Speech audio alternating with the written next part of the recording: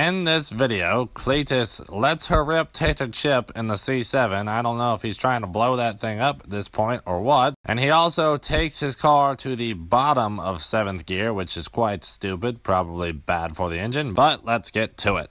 Hell yeah, brother. You're on the Cleetus McFarland YouTube channel. Cleetus and Cars, April 22nd, Bradenton, Florida. More information in the description below. Welcome back, everyone. Today, we are just talking about something kind of random and honestly a little stupid, in my opinion. But I get asked all the time about my C7's manual transmission, which is a seven speed.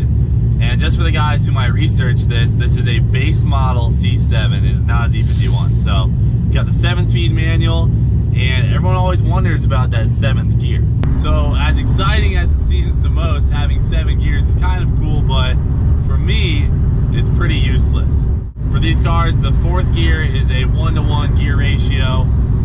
Fifth, sixth, and seventh is overdrive, obviously. And the seventh gear, I think, is all the way down to 0.42 to 1.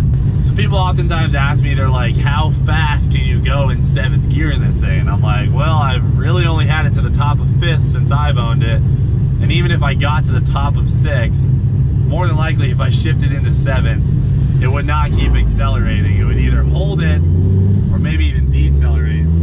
To get this car to the top of seventh gear, given the fact that it's a 0.42 to 1 ratio, it would have to have some extremely strong parts and a lot of power.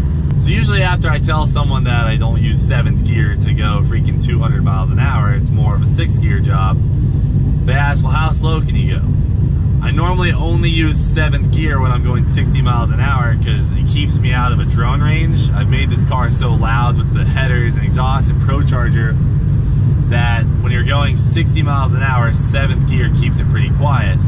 And in addition to that, when I'm going 40 miles an hour, I use sixth gear. Corvettes, you can hold a really low RPM and it stays super smooth. They don't buck, they don't do anything crazy like that. Now, if I'm going 60 and 7th gear, it keeps me out of the drone range, but it can also go a lot slower than that.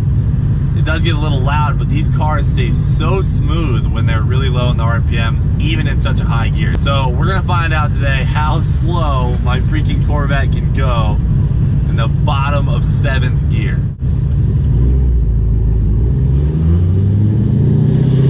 So normally I take it up pretty high in first and go right into 4th gear car stays super quiet, good gas, but it starts to get louder.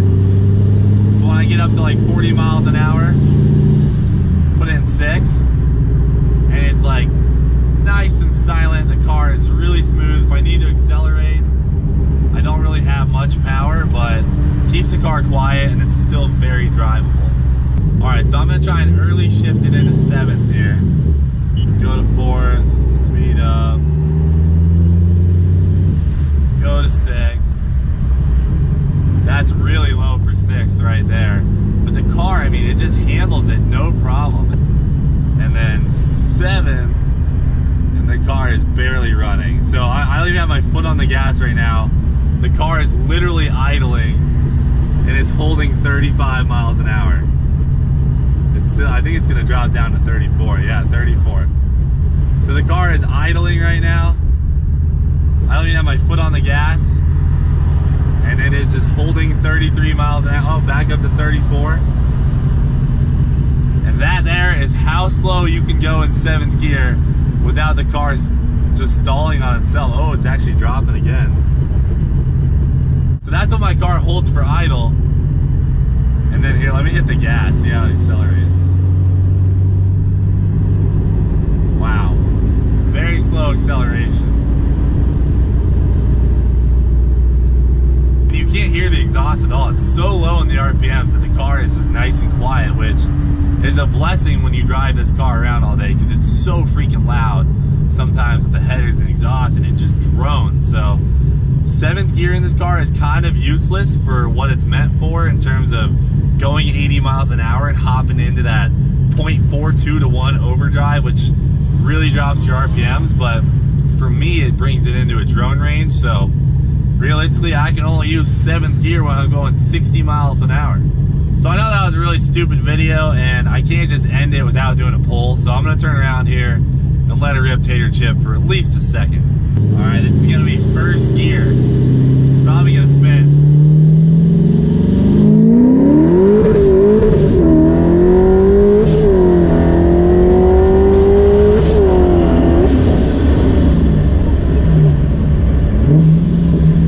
God, this car is fast.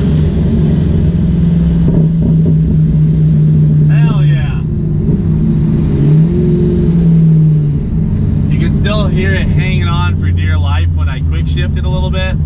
If you watch the other video where we kind of worked on the clutch, we made it a little bit better, but that thing's not happy. But that's to be expected after 20,000 miles of abuse on a stock clutch at over 600 horsepower and even 800 at times. So again, guys, I know this was a super random video and it was quite frankly a little bit stupid, but people ask me about my seventh gear all the time and I hope that gives you guys a little bit more information about the manual C7 transmission. Thanks for watching.